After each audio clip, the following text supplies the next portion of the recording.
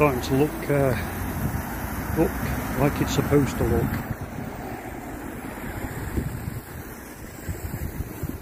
And of course we've had a bit of a clean up as well today, which uh, is always a bonus.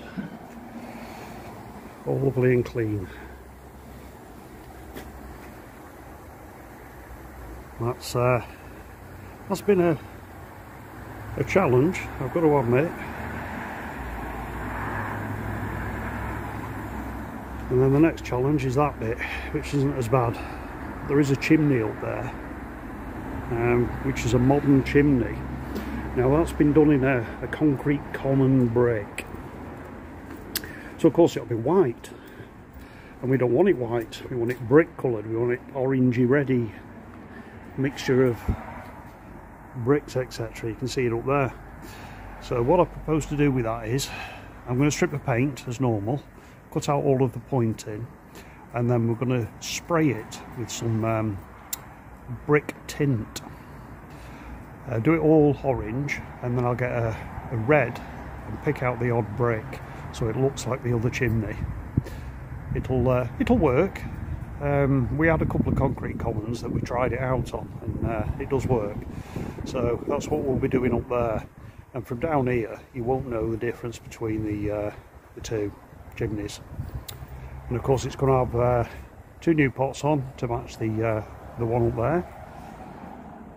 We're sat down here. Waiting. So they'll be going up on the chimney. And the other part is all that uh, section there we've got to strip the render off it and then restore the brickwork which again will probably be uh, going over it with a cup disc once the render's been removed. Um, cutting out all the cement mortar and lime pointing. So there's that to do. And I know possibly later on that one. That's another story. And they also want this which is a modern extension. They want it smooth rendered now it's constructed with concrete block. So we can't really strip it back and, uh, and do a great deal with that. So we'll uh, maybe try and flatten it off a bit put some um, a bit of that render bond on it and uh, just flat render it. Maybe do it in a, a white render or something for them but uh, not a great deal I can do with it I mean strip, stripping the render off the block work I think to be quite honest with you because I did do a little uh, test sample bit over here. Just kind of like there. That's your that's your concrete block there. Now I think what will happen is if I try and take that render off it's just going to eat the block um, which isn't good. Tuesday morning. What are we on with? Well, I'm on this um, this job, a bit of a winter job, which is to repoint this uh, this old Victorian townhouse. Now you can see these joints; they've been attacked at some point. Now these joints should be, you know, a couple of mil really. Um, but somebody's opened them all up with a, chisel. Uh, there's been a guy on here who started this job and buggered off after getting paid. Um, and he's attacked it in places with grinders. So you can see, you know, there's, little nicks and bits out of the uh, the bricks everywhere where he's damaged them with his grinder. So we're having to kind of recut the arris on them. Um, I did a load yesterday. I uh, didn't film it, a bit of a harassing day yesterday on here to be quite honest. Weather was atrocious. Um, you can see what we're having to do. I mean, we're never going to get them perfect. I mean, you just look at these here. You know, it's the battery split off it. But we're going to repoint in a cement-based mortar on this one. She doesn't want lime. Um, I'm not bothered, you know, not my building. Uh, so it won't be a really strong mix. Um, I know some of you lads out there like to do it really strong because it'll last. Well, that's not good. However, a softish cement mortar mix on stock brick isn't too bad. Um, it's when you do it really hard that you end up with stuff like that happening, which is where it's starting to spoil because somebody at some stage has done a really hard cement mortar in it, which has obviously over time failed and come out. I'm going to do it in, uh, in like a charcoal grey, purely because you can see traces of the original lime mortar there, which is in a charcoal grey. So uh, we'll do the old like for like, um, put it back to what it was when it was uh, new. We've also got a load of bricks to change on here. We've got uh, two windows to brick up, and there's a bit of stone repair to do on the front. Right, well I'm going to crack on and uh, start cutting out. I'm hoping to have all of it, you see up there, all of it finished by end of play tomorrow got all down there done. And it's quite quite a lengthy gable. It's probably about I don't know 40 foot long, something like that. Right, I'll stop waffling on now and crack on, and you can see a little bit of footage on there, me cutting out. Right, catch you in a bit.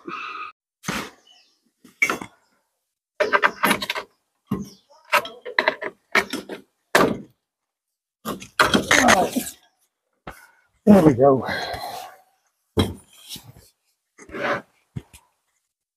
Oh no.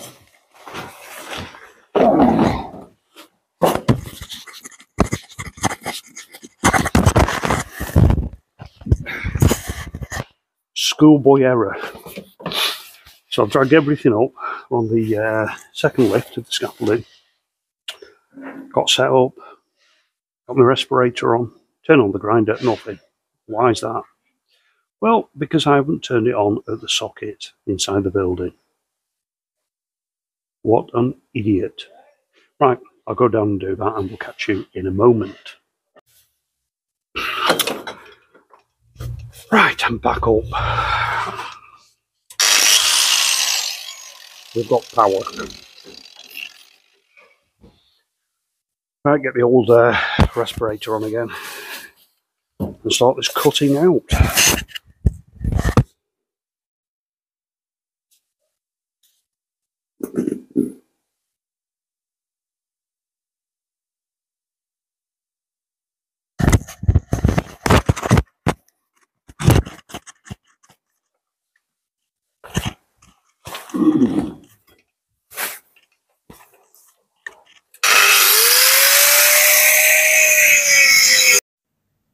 So a handy little tip for you.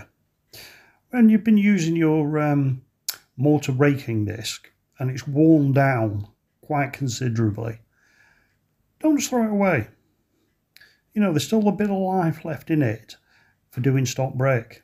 They're absolutely ideal because it's uh, it's not very thick, so it fits in the joints now.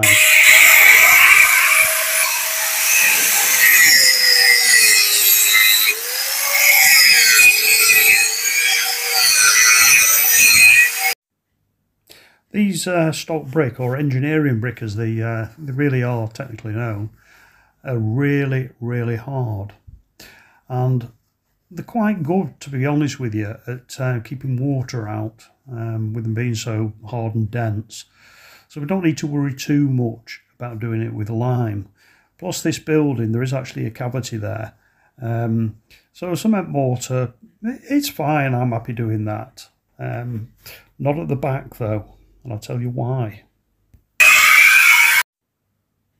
The reason that we're not going to do the back in the cement mortar is because it's clay commons, a Victorian 80mm clay common, which, as you probably know, if you're in the uh, in the business, um, do like to pour water in. So I did tell her that uh, I don't want to touch the back um, if she wants it in cement. However, I can do it in lime for her at a later date. So we might be back at some point to do that for him. Um, but I think Billy the Builder has already done it with sand and cement, so uh, maybe maybe they'll just leave it. I don't know. It's up to them.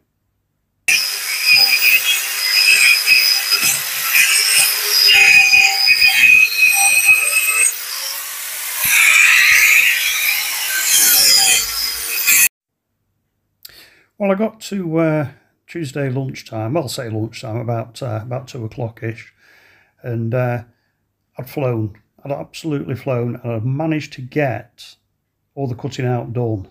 The only bit of cutting out there is to do on this gable now is on the ground floor, which I'm not too fussed about. Um, a lot of that has actually been done, um, but there's just sections that need trimming up. So I'm not, not too worried about that. It's more the top. So anyway, to cut a long story short, we shall be starting the pointing this Wednesday, being tomorrow. So uh, we'll give you a run through on how we're going to do that, from mixing it to putting it in.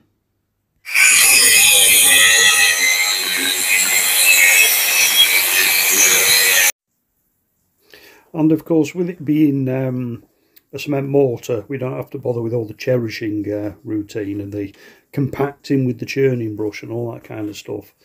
Uh, basically, just point it in and uh, towards the end of the day, just give it a quick uh, flick over with a soft brush. But I will be putting cherishing sheets on. Um, really because it's it's getting cold at nights and if there's any frost it will help to protect it um, so you know it's it's pretty straightforward this uh, nothing hard and fast about it.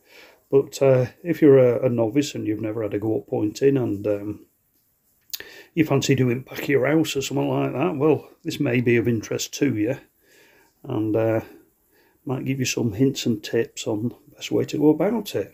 But always remember whenever you're doing this get a mask on. This stuff is deadly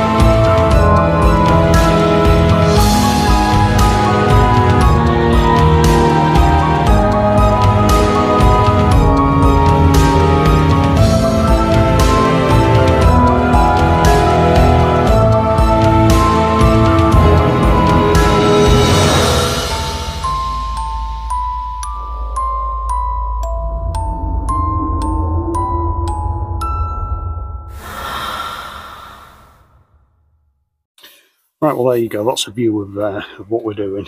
Like I said, you know, there's a lot of damage to these bricks. And it's been done over the years. So uh, it's just a case of uh, getting it as best as we can, really. I mean, you can see here, I've not touched this yet. You know, so it's it's messy. But, you know, you've got bits like that that's shallow. So I'm, I'm just getting them a bit deeper and then um, obviously when we point it, we're getting plenty in it. Right, on with the next, I suppose. It's uh, it's lovely in that respirator, really nice. I'm saying that at least it's warm on your face because it's uh, quite chilly today. It was the old uh, scrapey of the windscreen this morning. But I had to leave early yesterday. I had to go at about half three simple reason I had to do a bit of a runner because although I'm putting tarps up, or I had one tarp up, to be honest, yesterday, when I went downstairs, I noticed half a dozen cars that were all red, including all the windows. Now, they weren't red when I started, so it was obviously brick dust. So I thought, uh, Best to do one before they come back and I get lynched. Anyway, all the cars are gone this morning, which is good. And I managed to get my van outside the job and I put extra sheeting up. So hopefully we won't have a repeat of that problem today. It's a, a bit of a bit of a run job this one. Before weekend, they've had Billy the Builder in, and uh, basically they've been thrown off the job. Extremely poor what they were doing. I mean, you take that, look at that there. It's cut in probably about about three, maybe four mil, and that was it. He was ready for pointing. You know, it's uh, it's not good. all these is, is done, all these. I mean, he's been off the job a while, hence the uh, the moss in them. But you can see, you know, marks where he's hit it with grinder and, you know, they're everywhere. They're all over. So, and then this is burnt sand mastic. This is what he was going to use to point it. And he seems to be doing like little bits here and there. He's not, uh, he's not been consistent in what he would do. But I believe that uh, they had uh, they had him take three quarters of the money off the job, and then he buggered off, leaving them with a scaffolding that they had to have taken down. So they got to pay for another scaffolding for us to come and do this, and uh, obviously pay for having it done again. Um, and it's a shame they're a lovely couple, you know. Um, no problem with payment or anything. I've done a deal with her. She pays weekly. We don't want to get to the end and then get I'm not paying which does happen sometimes. Anyway, let's crack on. I'm out. There you bugger.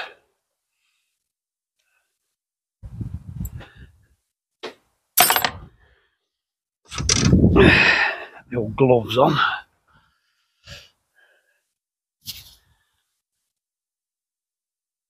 So also got the uh, the old Hessian sheeting up today. Uh, I should put on to protect the point I did yesterday. It uh, seems to be alright. I don't think the frost has damaged it. Don't seem to be any signs of uh, frost damage at all. But I put two layers of uh, Hessian sheeting on and then uh, a couple of layers of plastic tarpaulin. So it should have been nice and uh, cosy in there last night. Right, so what we're doing is obviously pointing.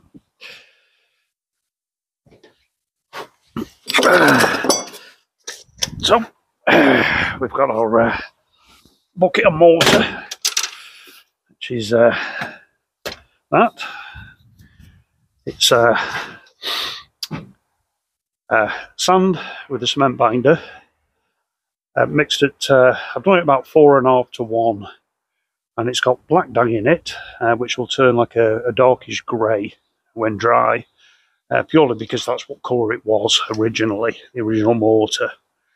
Um, I don't like to see them done in red, these stock brick. It tends to fade after time and it goes like a horrible patchy pink colour. And uh, I find it looks a bit messy, a bit cheap. But if you do it in the black, it uh, it keeps its colour. Right, tools that we need. The good old pick, of course, you know, for any, any bits that are missed, we can just chip them out. The only thing I haven't brought up is the uh, the water pump bottle.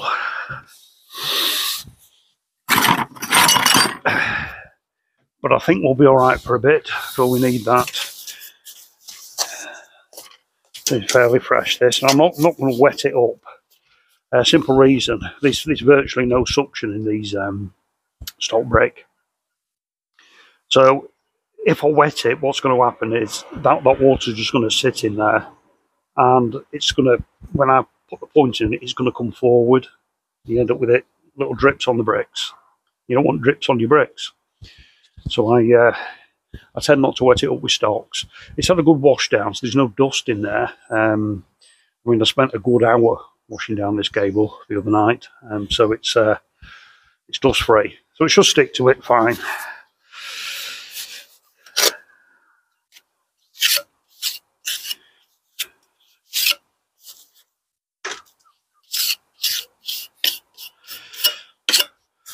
So if you're uh,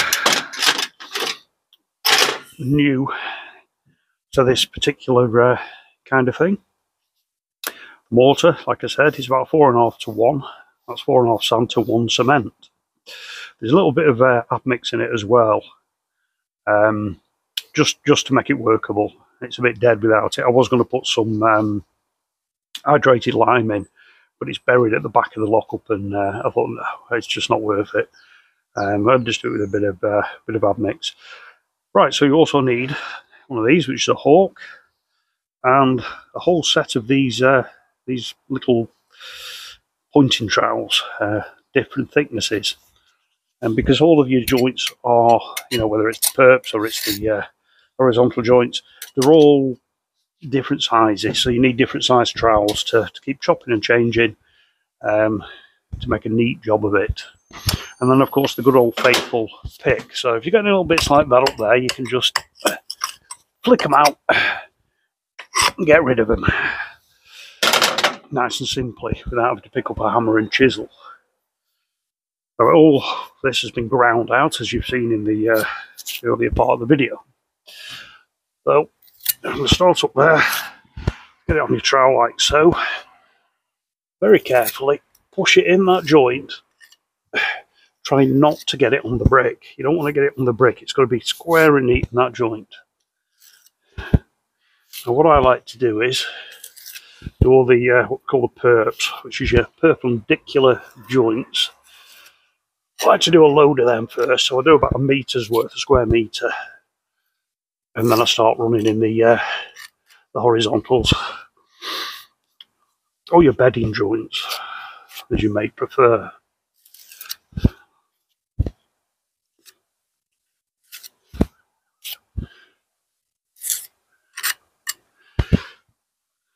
Anyway, it was all sheeted up last night um, because there was a frost. Uh, well, some parts of the country have dropped down to as low as minus five. Um, we weren't quite as bad here. We went down to about minus two last night. Um, I did put some uh, some frost proofer in it yesterday, which just makes it set a bit quicker. It's not like antifreeze in your car or anything like that. It, it you know, it just it basically what it does it makes that chemical reaction in the cement go a bit quicker um, because cement sets uh, way away a chemical reaction. So, of course, you add water to it, it starts that chemical reaction, just like lime. It creates heat, and that heat pushes the water out of the uh, out of the out of the mortar, water out of the mortar and that's kind of how it works. Same with uh, gypsum plasters; they work the same way. It's, it's chemical reactions that produce a small amount of heat, which slowly but surely evaporates the uh, the moisture, allowing it to set.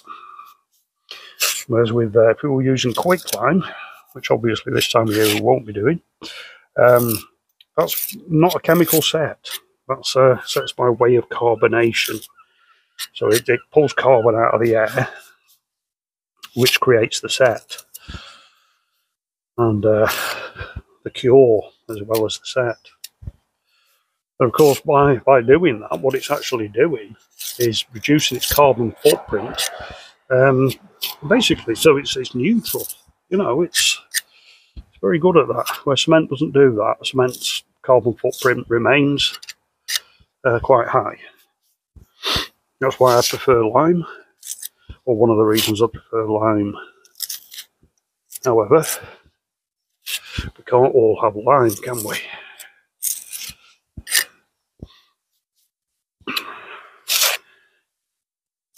I mean, if this had been any other time of year and any other job, I think I'd have insisted on it being in, in lime to match what it was. Like I said earlier on the video, you know, this, this building, it's got a cavity. It's uh, sort of mid to late Victorian. Um, so, you know, it's not uh, it's not going to take any harm with a bit of, uh, cement. These bricks are like iron, you know. You won't trip a, trim a little bit of one of these with your brick axe. Oh no, they just chip on you and shatter. Very hard. One of the hardest bricks out there, to be honest. But you could get at one point ones that were known as Accrington bricks, which are the same as these. These aren't an Accrington. And I can tell that by the quality of them. You know, when the sun comes across it, you can see that it's um, basically, well, I won't say seconds, but they're, they're not good quality because you can see all the bumps and bumps on them and things, which you don't get with the uh, true Accrington stock. They really were uh, brick amongst bricks. The king of bricks. And if you're in the south of the country, like I, uh, I know quite a few of you are, um, I don't know whether you've come across the Accrington stock brick or not. I don't know if it got as far down as, say, London, for example. But, uh, yeah, they are. They're, they're a good brick.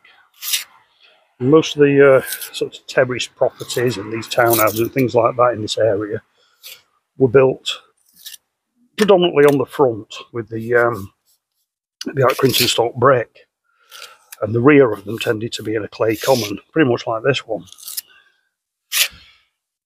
So it was all about appearance. It looked nice at the front, but crappy at the back. And today we don't really do that. It's, uh, it's the same appearance right round. But I suppose it was to do with cost, especially on the old terraced houses, because the, the Accrington stock brick or the stock brick would have been more expensive.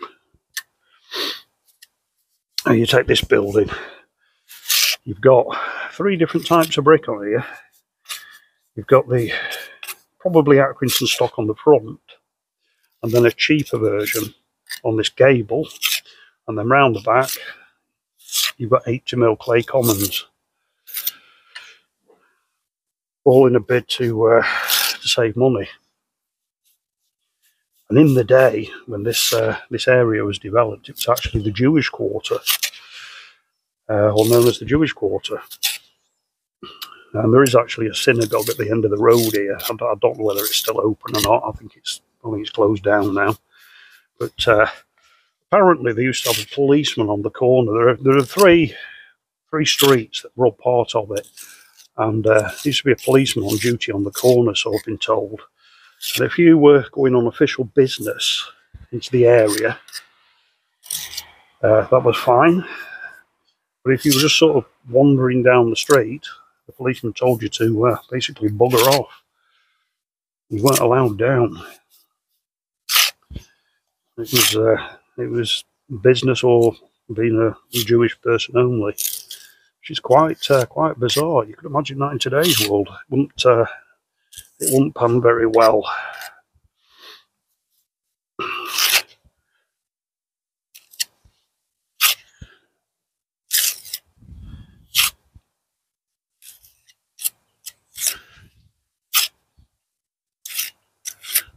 a grand old building of these.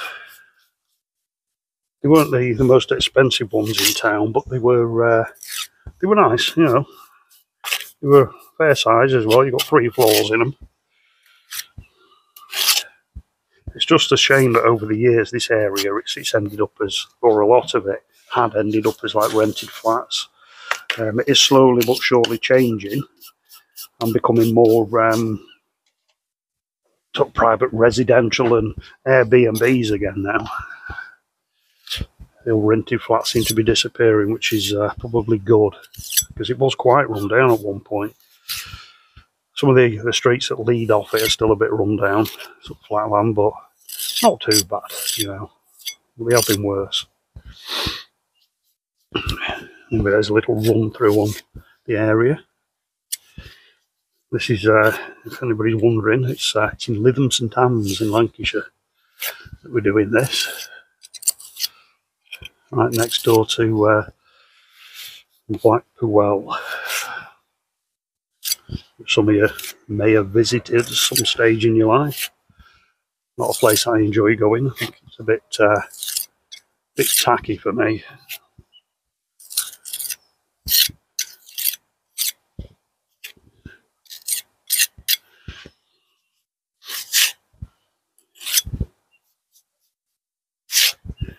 Right, so you can see here now that where we've got some of these perps that are going right through, I'll just keep firing it in, big chunks of it, keep putting it in and putting it in, putting it in, so it's gone to the back of that joint. You know, it's the same as when you're doing the lime. You, you want the joints full. You know, you're not just prettying it up. You're, you're doing it for a reason on here.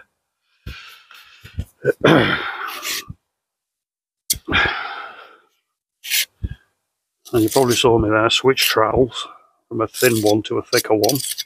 That's because we've got some thicker perps hanging about and we've got some that go a bit thinner now, but not quite as thin. So we're using even thinner one there. Fill them out.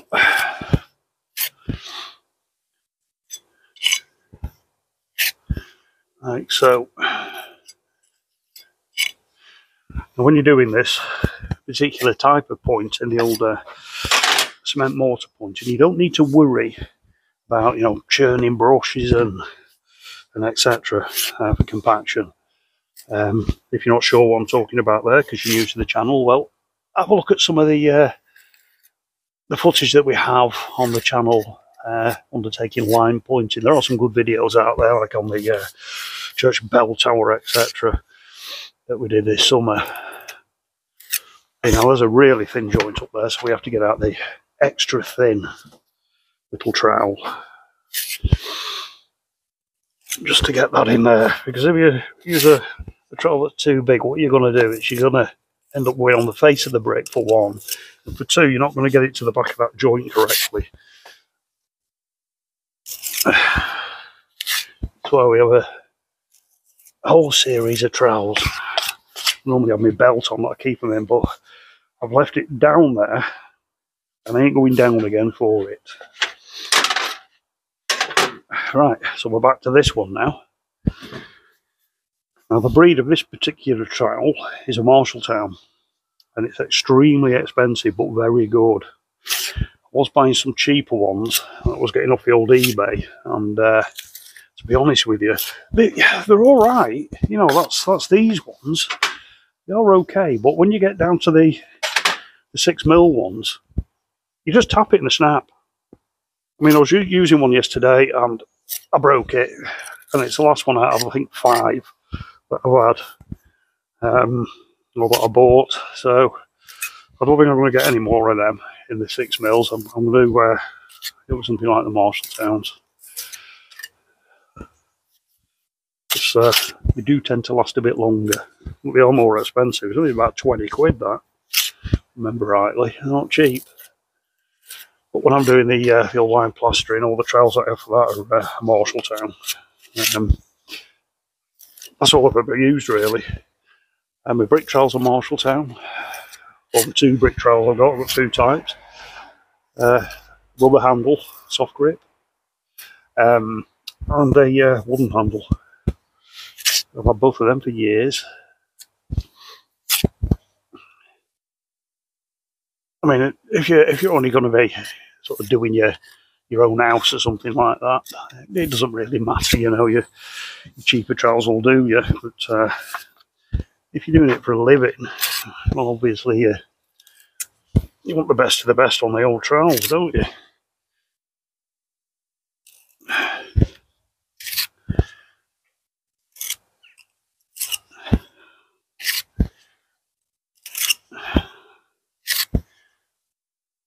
Now at the top, right next to the, uh, the fascia and the eaves there, the soffits rather, the um, the joints haven't been attacked. So they're nice and thin, how they should be. So I use a little trowel to get into those, so I don't want to open them up. You know, they're not supposed to be huge wide joints. So we'll keep that as it was.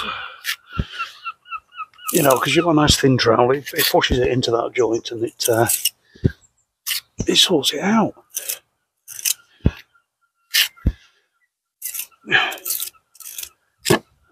You can hear the seagulls in the background there.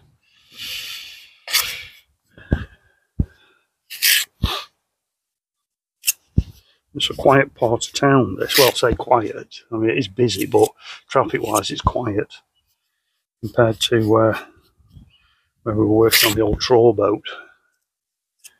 We don't have the, uh, the cars shooting past every 30 seconds.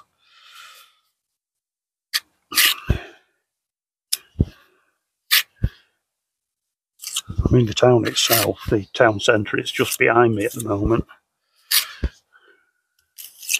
Two minute walk and you're in the, uh, what we call the square, St Anne's Square.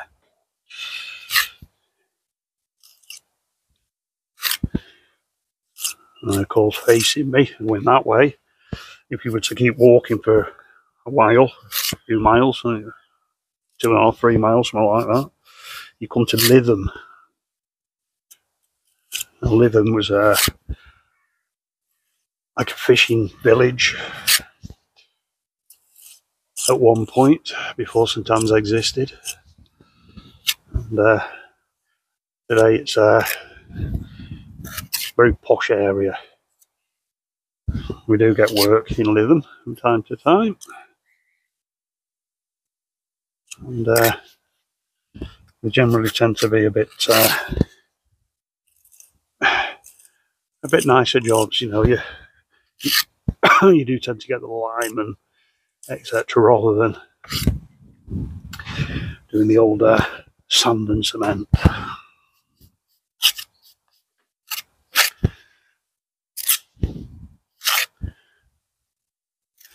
I don't think it's as cold this morning as yesterday. It's perishing up here yesterday. Of course, you don't get the sun on here. You get a tiny little blob of it comes around late afternoon just before uh, just before it starts going dark. So it's cold all day. As the front gets the sun on it and it warms up, so every now and again I have to disappear around the front for a quick warm up.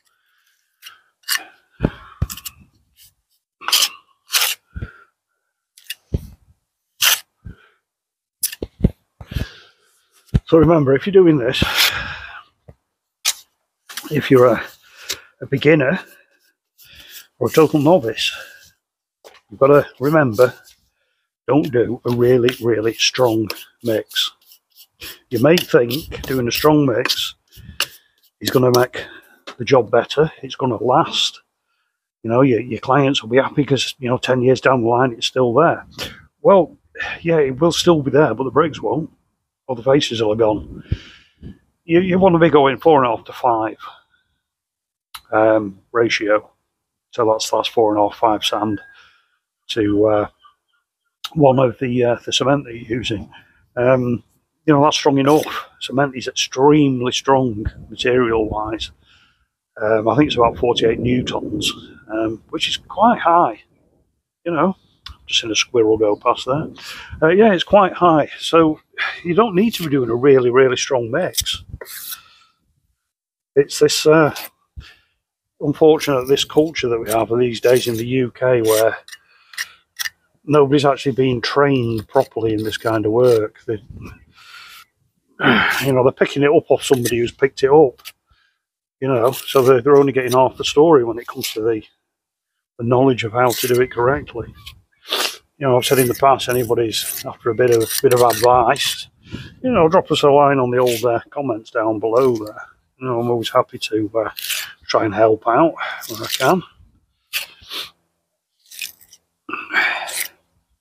I mean, this particular building, they, they're having it all done inside. Uh, I'll soon get some footage of that at some point. But uh, we had some uh, some rogue builders from Blackpool in, and they've um, well, they made a balls of everything really, and then buggered off. Not finished, nowhere near finished. Uh, I mean, they, they had started doing all the pointing on there. They made a mess of that. and uh, I was looking, uh, excuse me, I was looking at some of the plaster work they'd done inside. And uh, it, I mean, it's not not brilliant, but it's not. I've seen worse. Put it that way. So, you know, it's uh, again probably somebody who's uh, picked it up and does a bit of everything.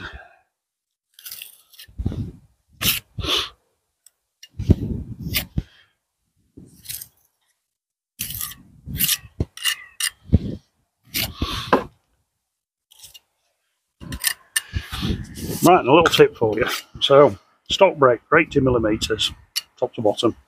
So we've got one, two, three, four. So we've got four across, and then you do from the top down 11 bricks. And that'll give you a square meter. Now, I don't know how that pans out with uh, with modern bricks for something like 65 mil, 75 mil. Um, I mean, it won't be far off. So, I mean, if you're gonna gonna measure a building up using that method of counting the uh, the bricks, you're probably better adding on a meter at the end of your calculations for uh, modern bricks. They are slightly smaller, but the joints are bigger, so you know it's hard to say, isn't it?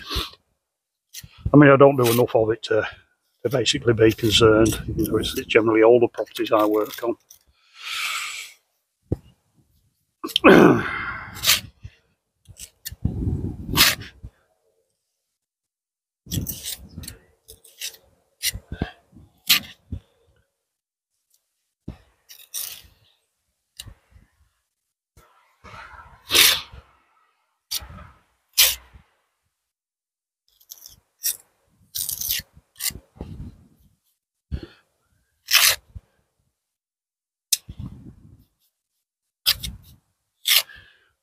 Again, if you are going to do a bit of pointing yourself this time of year, I really don't recommend that you use lime.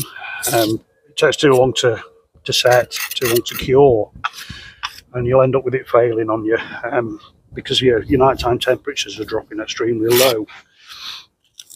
You can get away with it with uh, cement mortar because you can put, like I say, you can put the rapid hardeners in it, which you can't really do with lime. And um, always, always, always, you know, this time of year, put on your uh, your old Hessian sheeting because uh, that will help protect it from uh, a light frost. I mean, if you've got a deep freeze, it's not going to work. You know, that's that's going to go on you as well. But a light frost, I mean, we had a light frost last night. I'm going to say a light frost, you know, minus one, minus two. You're going to get away with it with that rapid hardener in the old um, Hessian sheeting. But if you're using a rapid hardener, just be careful how much you mix.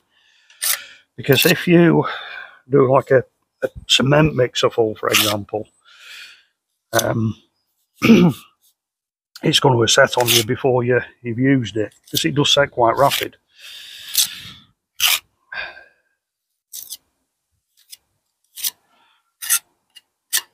I mean, this I've not put rapid hardener in this today, but it's early in the morning, and obviously I've done a, a batch to see me pretty much through the day. So this, by the time the frost comes tonight, will be pretty much set anyway. Um, you know, it's, it's about eight hours and and it's pretty much set and stuff. But I, again, I will be sheeting it up so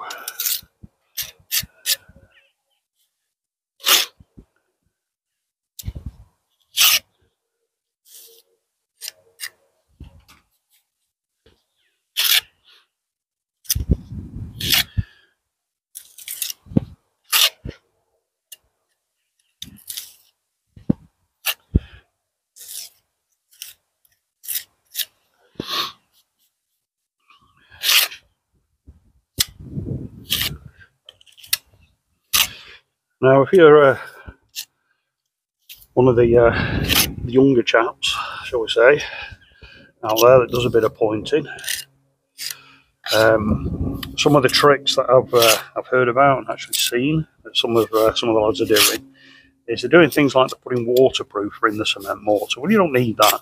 You know, that's just wasting your pennies. You don't really need it because cement in itself's pretty water repelling anyway.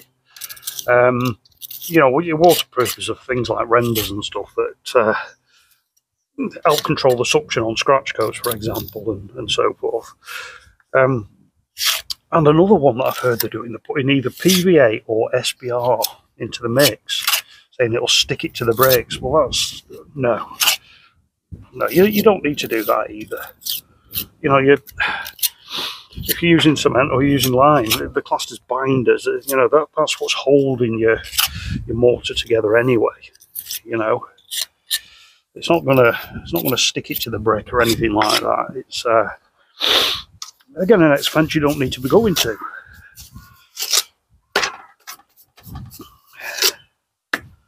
Anyway, there we go. So uh, what I'm going to do, I'm going to I'm going to get perched on a quite a big area this morning and then uh, start running it all in. So I'll uh, I'll come back to you in a short while when I've done a bit more. I tell you somewhere, it's bloody freezing up here this morning. Get the old ears. Well, I'm winning. It's uh, Very cold though, very very cold. Not freezing, but it's cold enough, you know. Uh, but I've got uh, quite a bit done.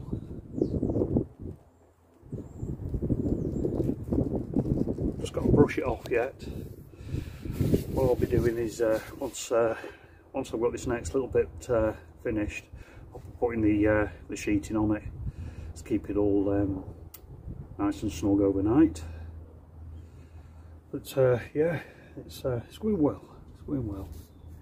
Right, do a bit more and then uh, we'll uh, conclude this week's video because uh, it's Thursday and I think uh, I think people are liking him going out on a Thursday. I seem to get more views on a Thursday than I do on a Friday. So we're going to start um, putting the videos out now on Thursdays. Right, let's crack on.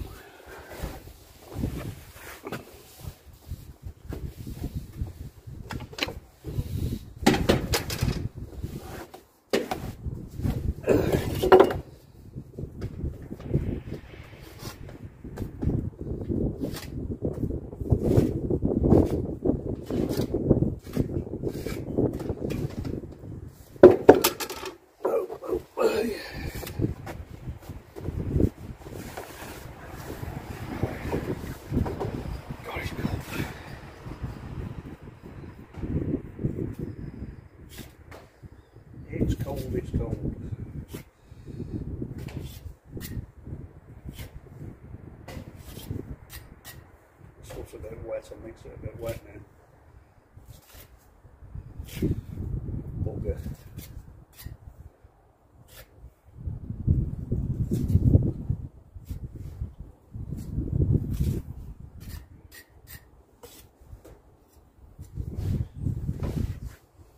There's a cold breeze blowing, it's a bit like having an Eskimo blowing on back of your neck. It wasn't at all. alright around the front, it's in the sun, it's lovely and warm. Actually quite pleasant.